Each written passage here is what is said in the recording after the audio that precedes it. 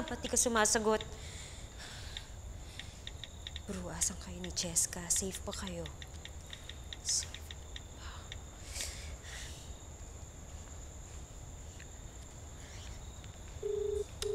Bro, ba't di ka sumasagot?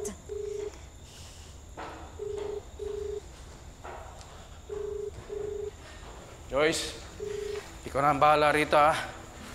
Mauna na kami. Oo, oh, sige. Hello, officer. Anong balita? Yes sir, natutunan po namin ang location. Pero walang tao ron. Walang kidnappers, wala si Jessica, wala ring puting van. Tingnan mo na. Ano sabi niyo? Wala kayong nakita? Kahit na ano, wala kayong nakita? Patuloy po ang investigasyon. Mag-update na lang po kami kapag may nahanap ng lead dito. Sir, tingnan mo na. Nasaan ang anak namin? Nasaan si Cheska? Tulungan niyo kami. Nasaan si Cheska?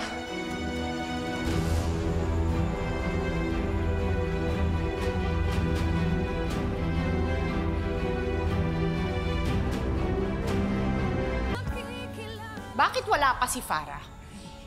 Hindi ba dapat nandito siya? Baka naman kasabot niya yung mga kidnapper.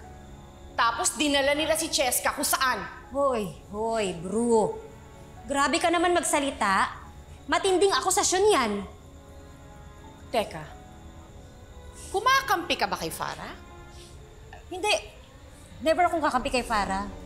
Nagulat lang ako kung paano ka magsalita. Kasi hindi ka naman ganyan dati. Parang nagiging legit na bruha ka na. Paano ako hindi mag-uugaling bruha? Eh nawawala yung anak ko. Alalang-alala ako sa kanya. Ni hindi ko man lang alam kung kamusta siya o ano, wala man lang akong balita. Ano, chichilax na lang ako? Ha? Chillax ka. At bakit ako hindi maghihinala sa isang tao na marami nang ginawang masama sa amin? Tumigil na nga kayo. Ang kailangan natin gawin ay pagtulungan na hanapin si Cheska. Yun ang priority natin.